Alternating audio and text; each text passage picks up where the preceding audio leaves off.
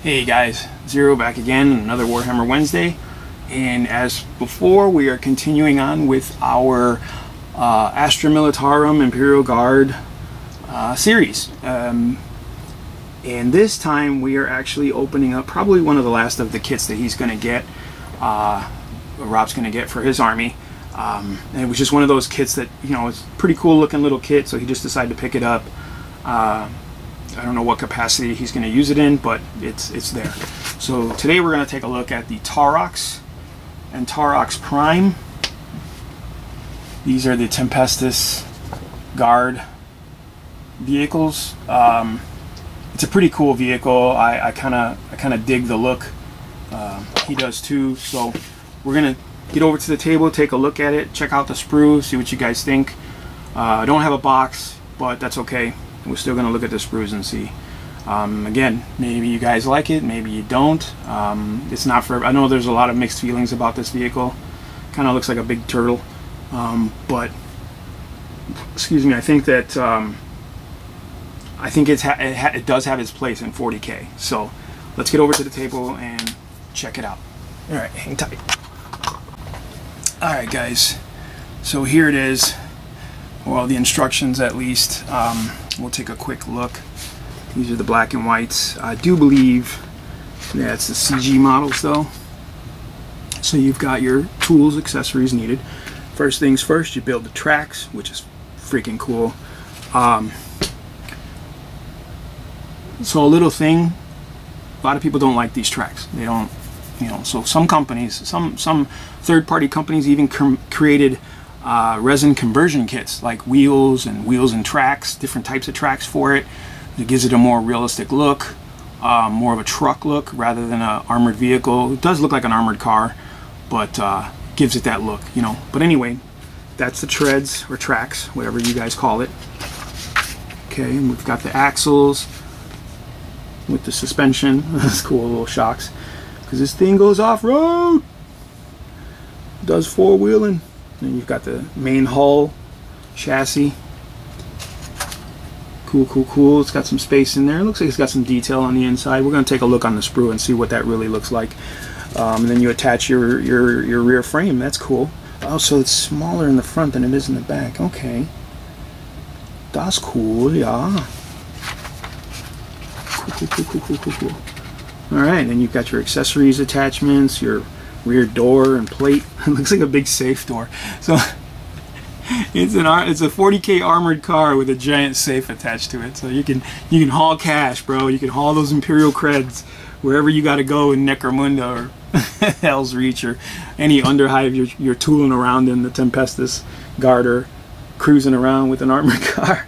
No wonder they're getting jacked by Genestealer cults all the time. It, it does look like an armored car. It's still cool though. I love it. I love it. It's cool. So you can build two variants. You can build the Taurox uh, with the gun turret, with the autocannon turret it looks like, or the Taurox Prime with a missile launcher. Pow pow. Because, you know, that's what missile launchers do. They pow pow. And then you've got the tank commander spot. If you want to build that, that's kind of cool. He's just sitting there, chilling on his little pedestal chair getting shot at. At his punk ass armor. So you attach the side guns. And again, auto cannons or las cannons. I'm not sure which ones they are. I'm not. I don't know for sure. But here you've got your different cannon options. You know your different uh, weapon options. It's kind of cool. It gives you a variety. That's cool. I like that. Again, I'm no expert. But it looks like in these two at the very least, even in this, you could probably magnetize this and have both. I'm just saying it's a little bit extra work, but if you're not going to get more than one of these, magnetize that bitch and make it flexible so that you can, you know, build multiple versions. Ooh, there's that cannon there. So you can build multiple versions of it, you know what I mean? And why not? Then you can change it up for the army you're fighting against, you know?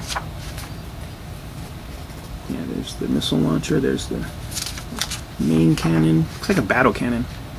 But I don't know. And then there's the missile launcher.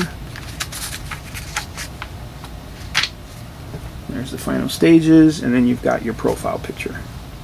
It's cool. I like these little schematics. It kind of reminds me of like Gundam kits and anime uh, tech manuals. They always do the little schematics of the views of the vehicle. The vehicle looks pretty cool to me, man. I don't know. Like I said, it looks like an armored car, but I mean, it is what it is, right? Now, let's take a yeah. So, here we have the first sprue. And yeah, we've got a ton of little accessories, the bumper, the turret, top, weapon pieces, the top hatch, the different top hatches. Looks like the internal floor plating. You know, the part of the cannon. There's the missile launcher uh, heads. This is really cool because again, it's filled to the brim with pieces, man. There's just bits everywhere. This is like a converter's fucking dream right here. You can do so much with this stuff. That's just very cool. And there's the back side. We'll get it up close to you guys so you guys can see it a little better. Uh, I apologize. This is the first time I'm seeing this kit, so so please bear with me and my noob excitedness. Yeah, we hold this guy right there.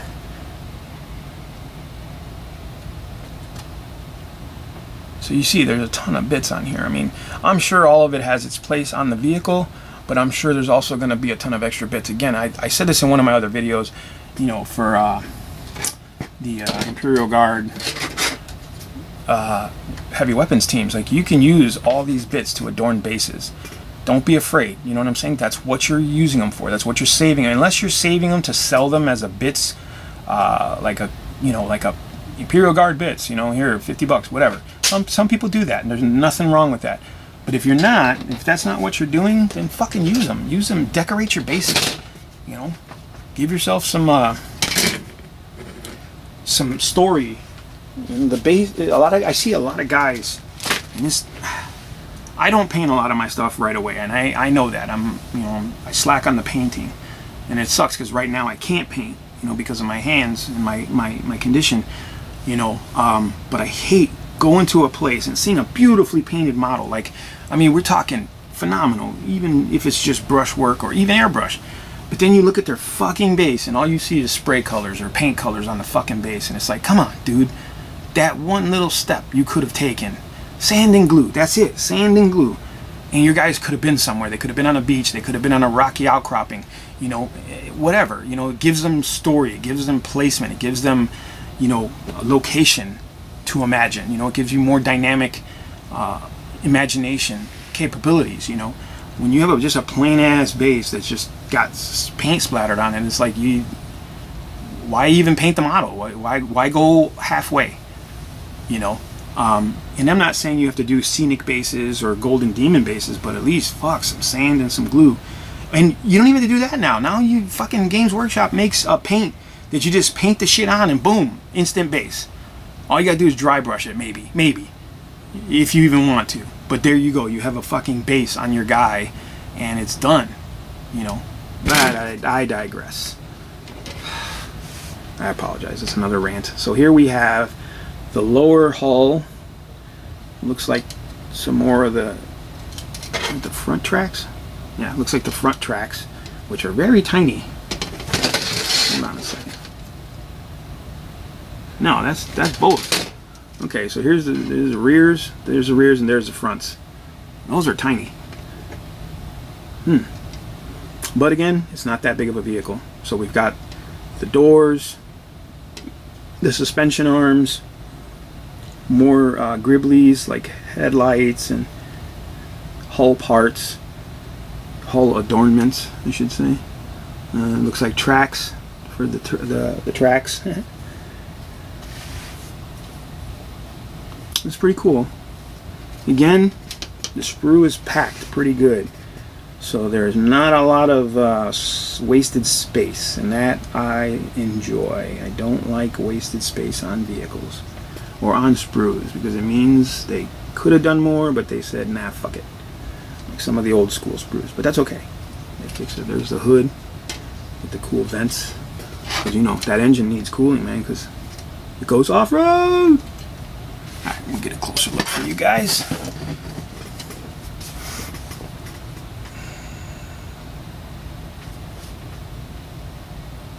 I apologize for my shaky hands.